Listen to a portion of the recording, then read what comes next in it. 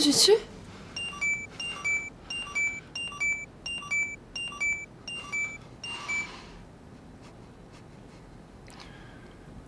이 노래 뭐야? 넌 뭐야?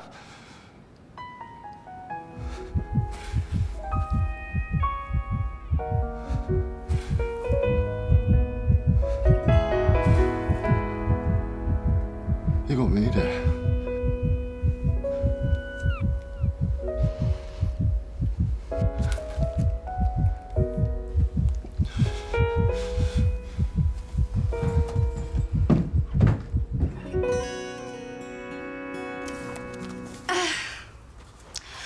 네가 질색하는 멜로 빼고 국내 깔린 시나리오 다야. 문 대표, 멜로 영화 좋아해?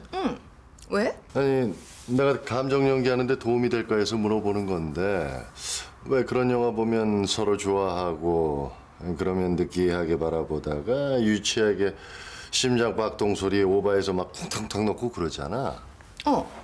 실제로도 그러나? 영화에서처럼 밖에 들리진 않지만 스스로는 느낄 만큼 뛰지.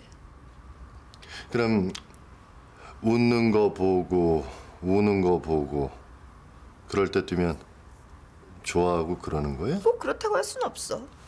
그렇지 웃겨서 심장이 뛸 수도 있고 불쌍해서 뛸 수도 있고 그럼 그럼 뭐 웃기고 불쌍하고 그거 마음에 드네 근데 확실하게 누굴 좋아할 때만 뛰는 경우가 있긴 해.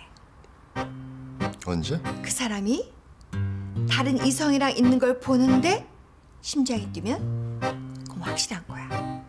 좋아하는 거. 대표님.